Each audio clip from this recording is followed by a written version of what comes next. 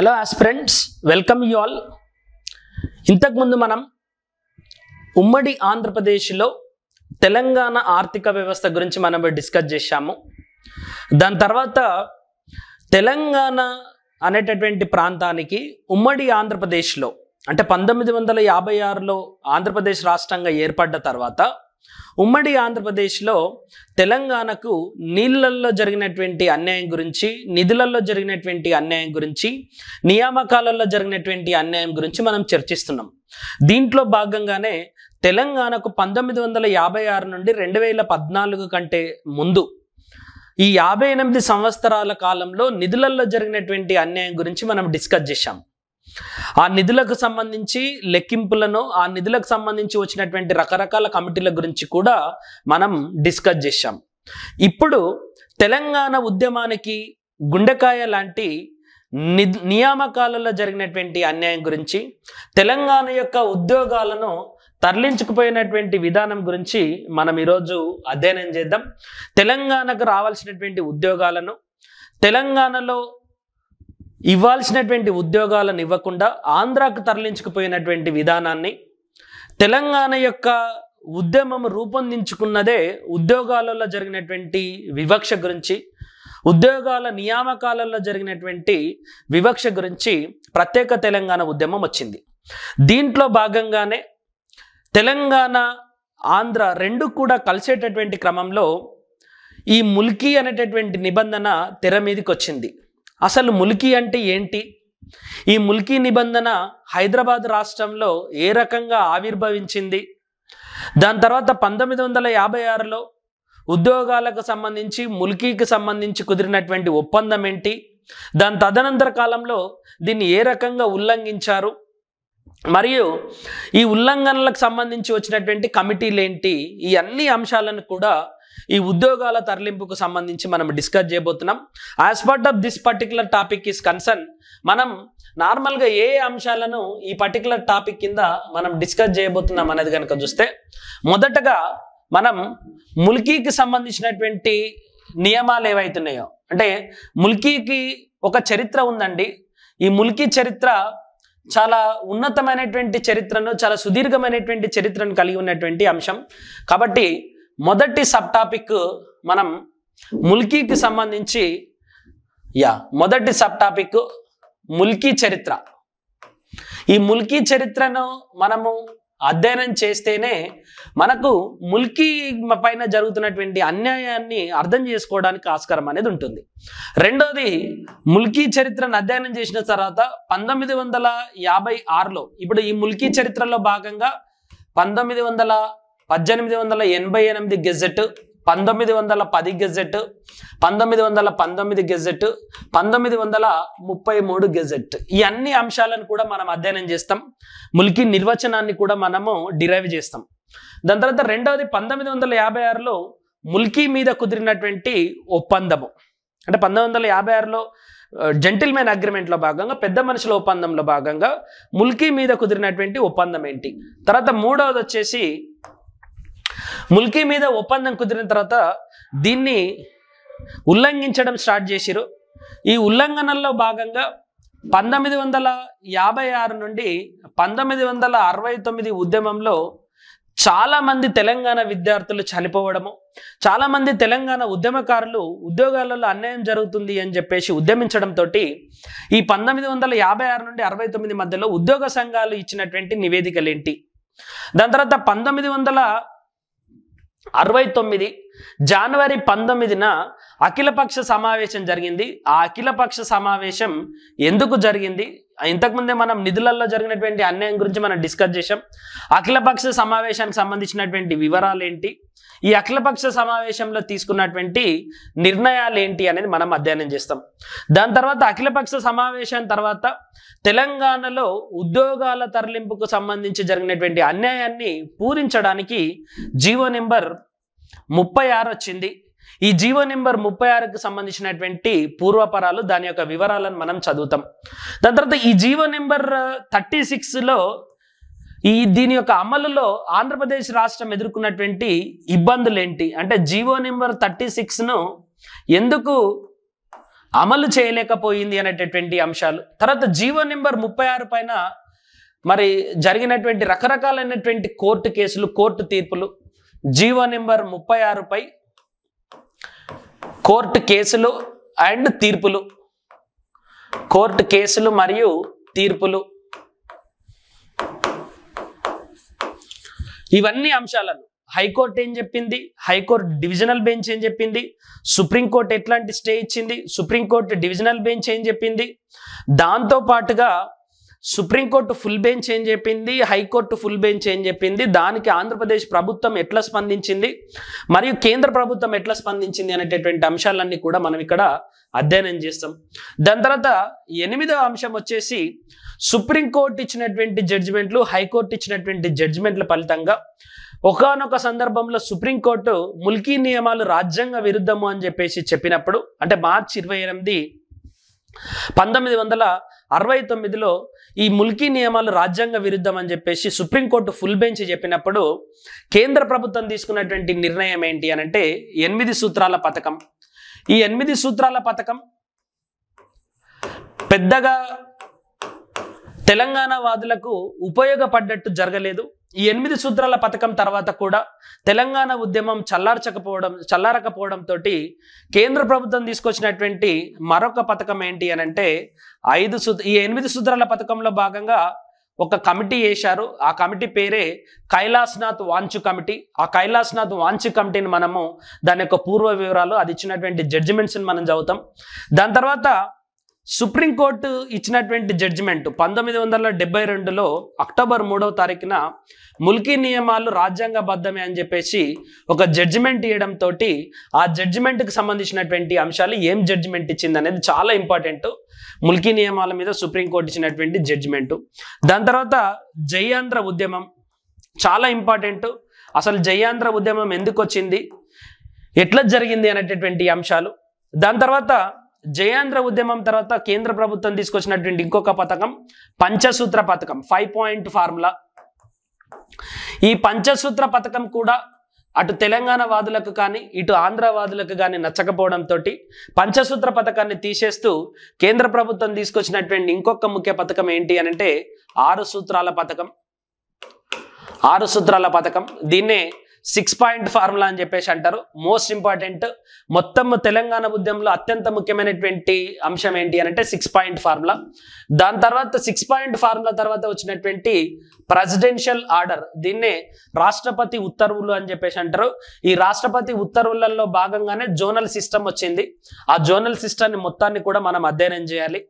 దాని తర్వాత zonal system తర్వాత వచ్చినటువంటి ఇంకొక ముఖ్యమైనటువంటి అంశం ఏంటి అని అంటే ఈ జోనల్ సిస్టాన్ని ఉల్లంఘించడము సిక్స్ పాయింట్ ఫార్ములాని ఇష్టం వచ్చిన రీతిలో రీఇంటర్ప్రిటేషన్ అంటే అర్ధ వివరణ చేయడంతో తెలంగాణ వాదుల నుండి ఉద్యమం వచ్చింది.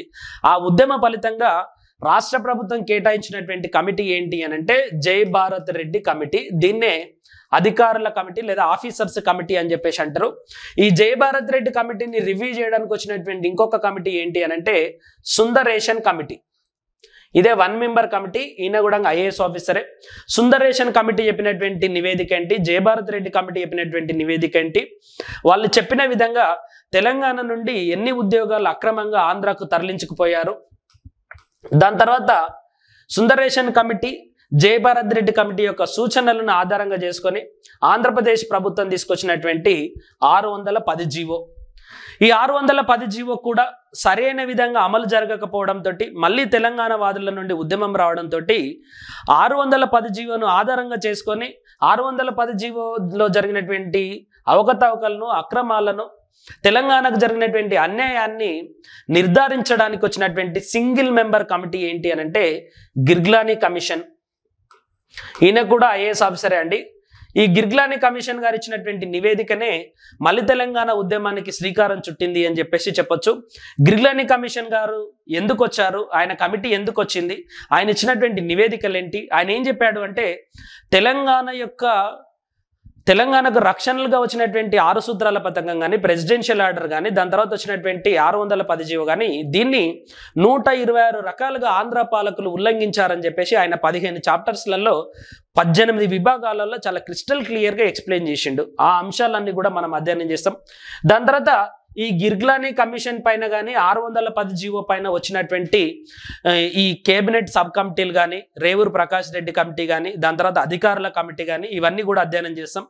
దాని తదనంతరం ఫోర్టీన్ ఎఫ్ పైన ఫోర్టీన్ ఎఫ్ పైన తెలంగాణలో జరిగినటువంటి మలిదశ ఉద్యమం ఆ ఫోర్టీన్ ఎఫ్ రద్దు వరకు జరిగినటువంటి ఉద్యమం గురించి ఫోర్టీన్ ఎఫ్ యొక్క విశిష్టత గురించి ఫోర్టీన్ ఎఫ్ ఫ్రీ జోన్ ఏరియాకు సంబంధించినటువంటి అంశాల గురించి మనం డిస్కస్ చేస్తాం. దాని తర్వాత పంతొమ్మిదవ అంశంగా శ్రీకృష్ణ కమిటీ ఏర్పాటు. శ్రీకృష్ణ కమిటీ మరి ఉద్యోగాలకు సంబంధించి ఇచ్చినటువంటి నివేదిక. ఈ అన్ని అంశాలు చదివిన తర్వాత అప్పుడు తెలంగాణకు జరిగినటువంటి వివక్ష తెలంగాణకు జరిగినటువంటి అన్యాయాన్ని ఉద్యోగాల పరంగా మనం ఒక కన్క్లూజన్కి రావడం అనేది జరుగుతుంది. ఇక్కడ నేను పొందుపరిచినటువంటి ఈ ఇరవై సబ్ టాపిక్స్ ముల్కీ చరిత్ర నుండి మొదలుకుంటే శ్రీకృష్ణ కమిటీ నివేదిక వరకు దాదాపుగా ఇరవై అతి ముఖ్యమైనటువంటి సబ్ టాపిక్స్ ఈ మొత్తం ఇరవై సబ్ టాపిక్స్లలో తెలంగాణ ఉద్యమం అంతా కూడా ఇముడింపబడి ఉంటుంది కాబట్టి ఈ సబ్ టాపిక్స్ని ఎవరైతే స్పష్టంగా ప్రిపేర్ అవుతారో వాళ్ళకు ఉద్యోగాల తరలింపుకు సంబంధించి ఏ ప్రశ్న వచ్చినా కూడా ఆన్సర్ చేయొచ్చు. దీంట్లో భాగంగానే మనం ముఖ్యంగా ముల్కీ చరిత్ర గురించి మనం అధ్యయనం చేద్దాం. ఎందుకంటే అది మొదటి సబ్ టాపిక్ కాబట్టి తెలంగాణ ఉద్యమానికి అంకురార్పణ జరిగింది ఈ ముల్కీ నియమాల యొక్క ఉల్లంఘన జరిగింది కాబట్టి. అసలు ఈ ములికీకి ఉన్నటువంటి చరిత్ర ఏంటి? ములికి ఎప్పుడు స్టార్ట్ అయింది? ఎక్కడి నుండి స్టార్ట్ అయింది కనుక మనం చూస్తే ముల్కీ యొక్క చరిత్ర దాదాపుగా ఆరు వందల సంవత్సరాల చరిత్ర అండి. ముల్కీకి సంబంధించి చరిత్ర ఇప్పటిది కాదు ముల్కీ యొక్క చరిత్ర ముల్కీ యొక్క పునాదులు ఆరు వందల సంవత్సరాలకు సంబంధించినటువంటి పునాదులు. ఆరు వందల సంవత్సరాల నుండి ముల్కీ యొక్క చరిత్ర ఉంది. ఆరు వందల సంవత్సరాల క్రితమే ముల్కీ అనేటటువంటి అంశం మీద చర్చ జరిగింది. ముల్కీ అనేటటువంటి అంశం మీద పోరాటాలు కూడా జరిగినాయి. మరి బహుమని రాజుల కాలంలో ముఖ్యంగా ఈ ముల్కీకి సంబంధించినటువంటి పునాది పడ్డది. బహుమని రాజుల కాలంలో పునాది పడ్డప్పటికీ కుతుబ్షాహీ కాలంలో కొంత స్తబ్దుగా ఉంది.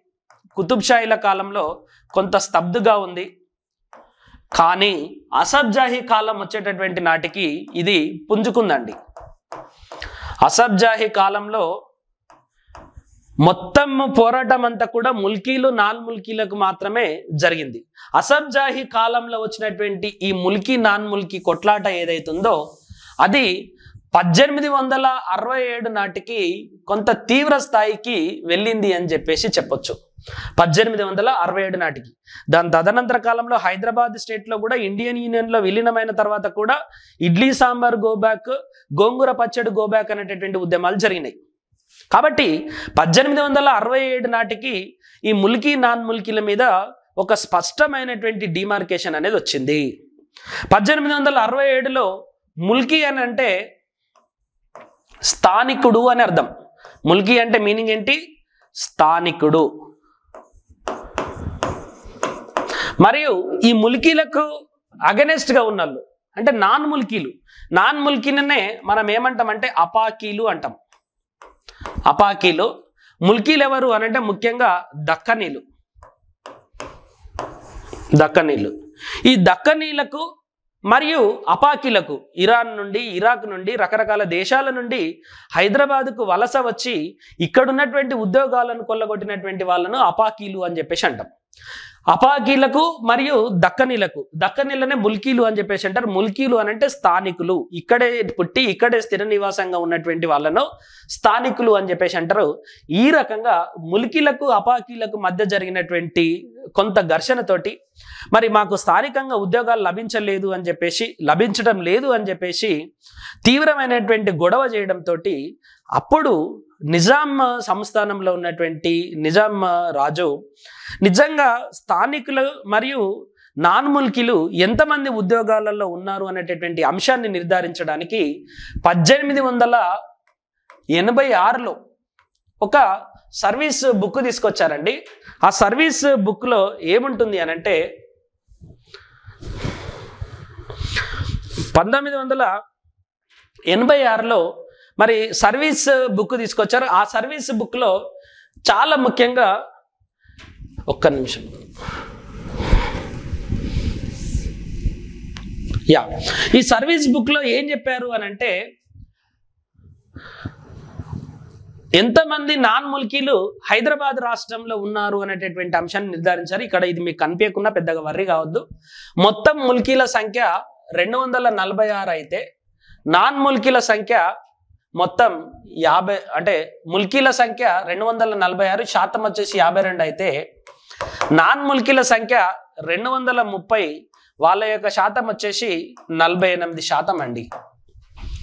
చూసారా వీళ్ళు నలభై ఎనిమిది శాతం ఉన్న మొత్తం ప్రభుత్వం చెల్లించేటటువంటి వంద రూపాయల జీతంలో యాభై ఎనిమిది శాతం జీతాలు నాన్ ముల్కీలకే పోయేటివి. అంటే మీనింగ్ ఏంటి?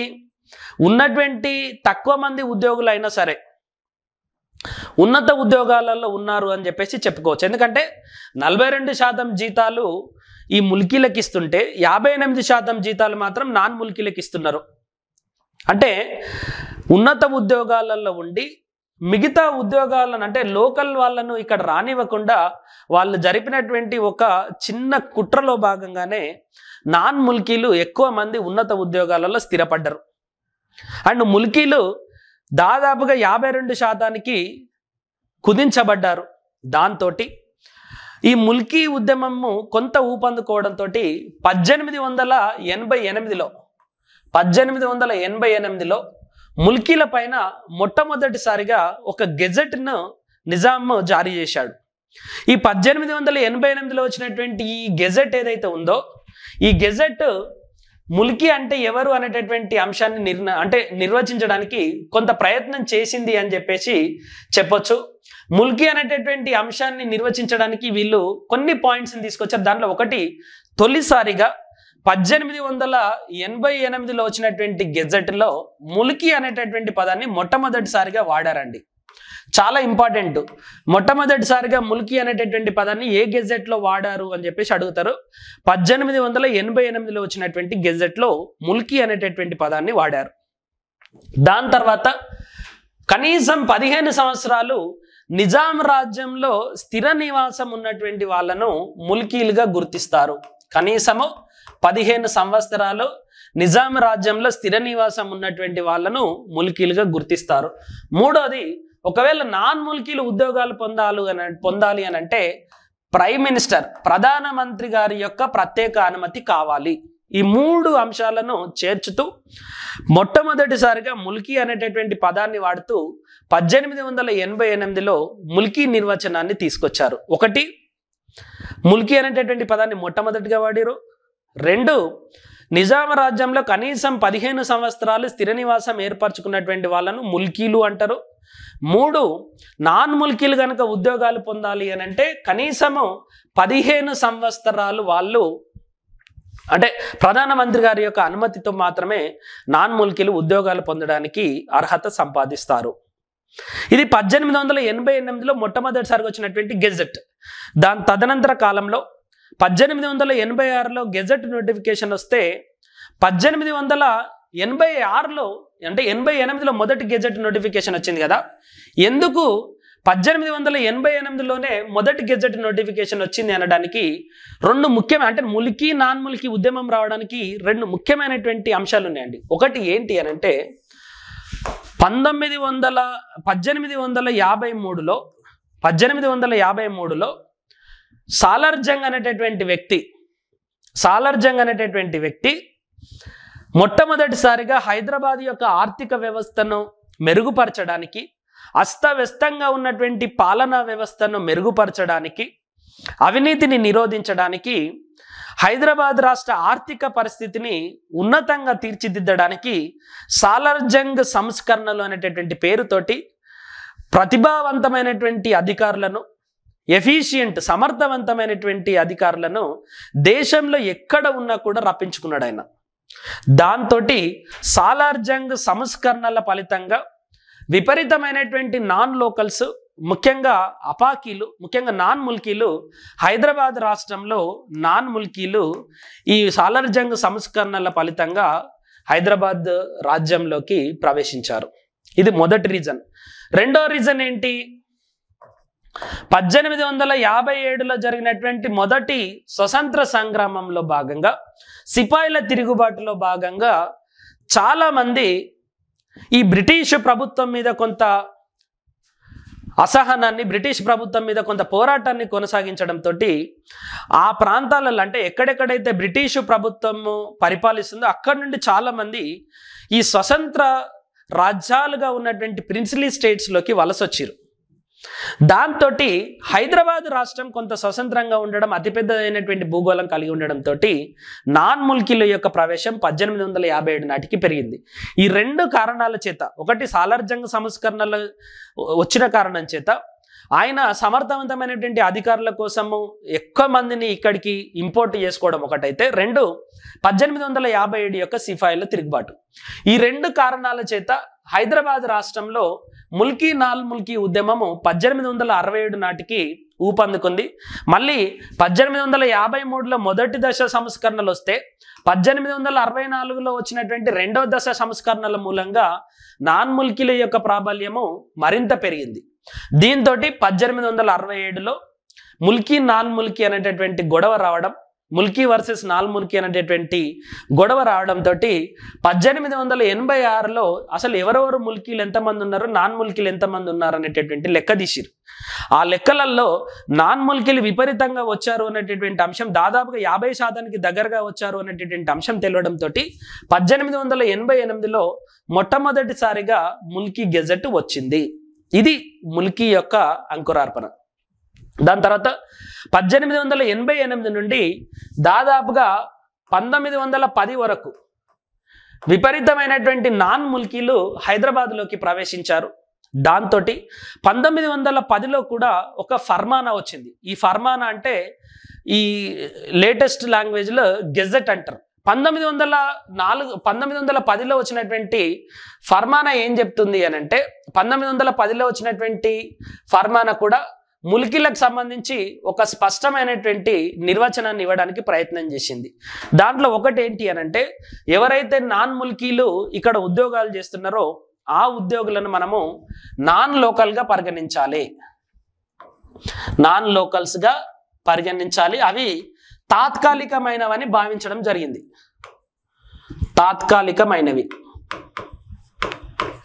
ఓకే ఎవరైతే నాన్ ముల్కీలు ఉద్యోగాలు పొందారో ఆ ఉద్యోగాలను తాత్కాలిక ఉద్యోగాలుగా పరిగణించడం జరుగుతుంది అని పంతొమ్మిది వందల పదిలో వచ్చినటువంటి గెజెట్ చెప్తుంది.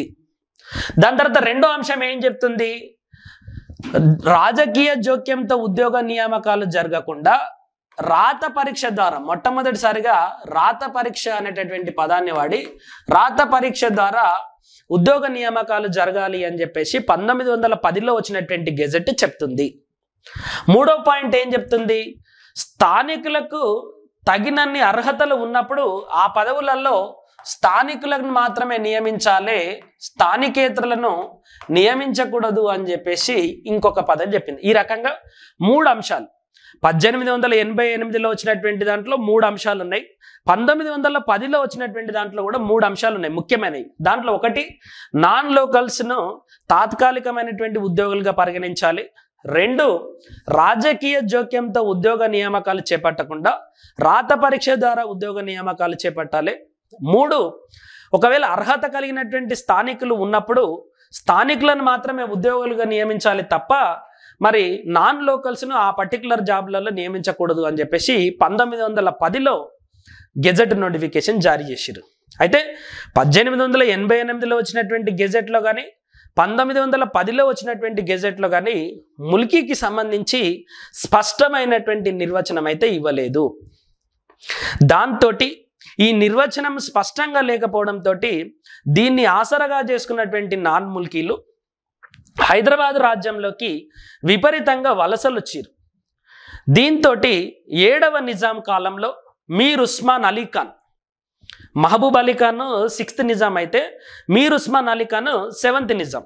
ఈ మీర్ ఉస్మాన్ అలీ ఖాన్ కాలంలో కూడా తెలంగాణ ప్రాంతంలో ముఖ్యంగా ఈ హైదరాబాద్ ప్రాంతంలో ముల్కీలు వర్సెస్ నాల్ ముల్కీలు అనేటటువంటి గొడవ జరిగింది. దాంతో పంతొమ్మిది వందల పంతొమ్మిదిలో పంతొమ్మిది వందల తొమ్మిది తర్వాత పంతొమ్మిది వందల పంతొమ్మిదిలో మొట్టమొదటిసారిగా ముల్కీని నిర్వచించారు. స్పష్టంగా ములికి అంటే ఏంటి అనేటటువంటి అంశంలో ఒక స్పష్టమైనటువంటి క్లారిటీ ఇచ్చింది ఎక్కడంటే పంతొమ్మిది వందల పంతొమ్మిది గెజెట్. దీన్నే గెజెట్ ఫర్మానా అంటారు. ఇది సెవెంత్ నిజాం కాలంలో వచ్చినటువంటి ఫర్మానా. ఈ రోజుకి కూడా పంతొమ్మిది వందల పంతొమ్మిదిలో ఈ వచ్చినటువంటి ఈ గెజెట్ ఏదైతుందో ముల్కీల మీద ఆ డెఫినేషన్నే మనం ముల్కీల యొక్క డెఫినేషన్కు ఆధారంగా తీసుకుంటాం. This definition is considered to be the benchmark definition of Mulki as per as the whole concept of locals is concern ఈ రోజుకు కూడా డిస్టిక్ సెలక్షన్ కమిటీ ఉద్యోగాలలో స్థానికులు అనేటటువంటి అంశం ఉంది. తెలంగాణ రాష్ట్రం వచ్చిన తర్వాత కూడా తొంభై ఐదు శాతం ఉద్యోగాలు తెలంగాణ వాళ్ళకు మిగతా ఐదు శాతం ఓపెన్ కేటగిరీకి అని చెప్పి చెప్పడంతో స్థానికులకు ప్రాధాన్యత ఇవ్వాలి అనేటటువంటి అంశం ఈ రోజు వచ్చింది కాదు ఆరు వందల సంవత్సరాల క్రితం నుండి వచ్చినటువంటి చరిత్ర. దీంతో పంతొమ్మిది వందల పంతొమ్మిదిలో ఒక గెజెట్ వచ్చిందండి. ఆ గెజెట్ పేరే పంతొమ్మిది వందల పంతొమ్మిదికి సంబంధించినటువంటి ముల్కీ ఫర్మానా. ఆ పంతొమ్మిది వందల పంతొమ్మిదిలో వచ్చినటువంటి ముల్కీ ఫర్మానా మూలంగానే మనకు ఈ రోజు ముల్కీ నిర్వచనం వచ్చింది. ఒకనొక సందర్భంలో నిజాం మీద ఒక ముస్లిం కవి ఒక కవిత చెప్తాడు. ఏంటి ఆ కవిత? ఆ కవిత తెలంగాణ వాదులకు ఉద్యోగాలకు సంబంధించి ఎంత అన్యాయం జరుగుతుంది అనేటటువంటి అంశాన్ని తెలియజేస్తుంది. ఏం చెప్తుంది? మా ఉద్యోగాలన్నీ అపహరించి మీ వారికి అప్పగించావు నీ కుట్రలన్నీ అమలైతే ఇక ఉద్యోగాలే ఇక చిరు ఉద్యోగాలే మాకు గతి. నీ నువ్వు వైస్రాయికి భయపడి ఈ దుర్మార్గం చేస్తున్నావో అది నీ అధోగతి. స్థానికుల అష్ట కష్టాలకు కాస్త భయపడు. మా కష్టాలను కూడా కొంచెం కనికరించు. ఏదో ఒక రోజు నువ్వు నీ అంతిమ ప్రయాణానికి సిద్ధం కావాలి. అని చెప్పేసి ఒక ముస్లిం కవి స్థానికుల ఉద్యోగాల గురించి ఒక అద్భుతమైనటువంటి కవితను రాసి ప్రజలలో చైతన్యం కలిగించడానికి స్థానికులకు మాత్రం ఉద్యోగాలు ఇవ్వాలి అనేటటువంటి ఒక కాన్సెప్ట్ను బలంగా ముందుకు తీసుకొచ్చాడు. దాంతో తప్పనిసరి పరిస్థితులలో పంతొమ్మిది వందల పంతొమ్మిదిలో నిజాం పంతొమ్మిది వందల పంతొమ్మిది ఫర్మానా తీసుకొచ్చిండు. దాన్నే ముల్కీ ఫర్మాన్ అంటారు. దాంట్లో మొదటి అంశం ఏం చెప్తుంది అని అంటే ప్రభుత్వ ఉద్యోగాలలో కేవలం ముల్కీలను మాత్రమే నియమించాలి.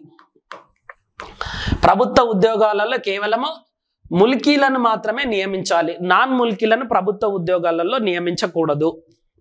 ఇది మొదటి రూల్ అండి. రెండో రూల్ ఏం చెప్తుంది? నిజాం రాష్ట్రంలో జన్మించిన మా జన్మించిన వారు మాత్రమే ముల్కీలుగా గుర్తించబడతారు. ఉద్యోగాలకు కేవలం వీరు మాత్రమే అర్హులు. అంటే బర్త్ను ఒక కేటగిరీగా తీసుకొని ఎవరు ములికీలు అనేటటువంటి అంశాన్ని ఓకే ములికీలను మాత్రమే ప్రభుత్వ ఉద్యోగాలకు తీసుకోవాలి. రెండోది ఏంటి అని అంటే ఈ నిజాం రాజ్యంలో ఎవరైతే జన్మిస్తారో వలస వచ్చినటువంటి వాళ్ళు కాదు ఇక్కడ జన్మించిన వాళ్ళను మాత్రమే ములికీలుగా పరిగణించాలి. మూడవది ఇంకా వేరే వాళ్ళు ఎవరైనా పదిహేను సంవత్సరాల నుండి వరుసగా హైదరాబాద్ రాజ్యంలో నివసిస్తూ తిరిగి వెనక్కి వెళ్ళేటటువంటి ఆలోచన లేకుండా ఉన్నటువంటి వాళ్ళను అంటే పదిహేను సంవత్సరాలను మొట్టమొదటిసారిగా బెంచ్ మార్క్గా చూపించినటువంటి అంశం ఏంటి అంటే పంతొమ్మిది వందల పంతొమ్మిదిలో వచ్చినటువంటి గెజెట్ నోటిఫికేషను. అంటే కనీసం పంతొమ్మిది సంవత్సరాలు ఇక్కడే ఉంటూ మళ్ళీ తిరిగి వాళ్ళ యొక్క ప్రాంతానికి వెళ్ళేటటువంటి ఆలోచన లేకపోతే వాళ్ళను కూడా ములికీలుగా పరిగణించవచ్చు అనేది పంతొమ్మిది వందల పంతొమ్మిదిలో చెప్పినటువంటి గెజెట్. తర్వాత నాలుగో అంశం ఏం చెప్తుందంటే హైదరాబాద్ సంస్థానంలో పదిహేనేళ్ళు ఉద్యోగం చేసినా వారి పిల్లలు గు గుర్తించబడతారు. ఓకే? ఎవరైనా ఉద్యోగస్తులు ఉంటే ఆ ఉద్యోగస్తులను ములికీలుగా గుర్తించాలా లేదనేటటువంటి అంశంలో క్లారిటీ లేదు కానీ వాళ్ళ పిల్లలు ఇక్కడనే ములికీలుగా గుర్తించబడడానికి అర్హత సంపాదిస్తారు. లాస్ట్ వచ్చేసి భర్త ములికి అయితే అతని భార్యకు కూడా ముల్కీ నిబంధనలు వర్తిస్తాయి. అంటే ఒకవేళ భర్త హైదరాబాద్ రాజ్యంలోనే పుట్టి ఇక్కడే స్థిర నివాసం ఉండి ములికిగా గుర్తించబడి నాన్ ముల్కీల నుండి ఒక అమ్మాయిని కనుక పెళ్ళి చేసుకుంటే ఆ అమ్మాయికి కూడా ముల్కీ నియమాలు వర్తిస్తాయి. ఆ అమ్మాయిని కూడా ముల్కీగా పరిగణలోకి తీసుకుంటారు. రెండవది ఎవరైనా ముల్కియా నాన్ ముల్కియా అని చెప్పేసి ధృవీకరించబడాలి అని అంటే కలెక్టర్ ఇచ్చినటువంటి ధృవీకరణ పత్రమే ముల్కీ యొక్క నిర్ధారణకు మూలం అవుతుంది ఈ రకంగా ఐదు అంశాలను పంతొమ్మిది వందల పంతొమ్మిది గెజెట్లో పొందుపరిచారు. ఒకటి నిజాం రాజ్యంలో జన్మించిన వాడై ఉండాలి. రెండు ప్రభుత్వ ఉద్యోగాలలో ముల్కీలను మాత్రమే నియమించాలి. మూడు పదిహేనేళ్ళ స్థిర నివాసం ఉంటూ వెనక్కి వెళ్ళే ఆలోచన లేని వాళ్ళ ఉండాలి. నాలుగు ప్రభుత్వ ఉద్యోగాలకు సంబంధించినటువంటి వాళ్ళ పిల్లలు ముల్కీలుగా గుర్తించబడతారు. భర్త ముల్కీ అయితే భార్యకు కూడా ముల్కీ రూల్స్ వస్తాయి.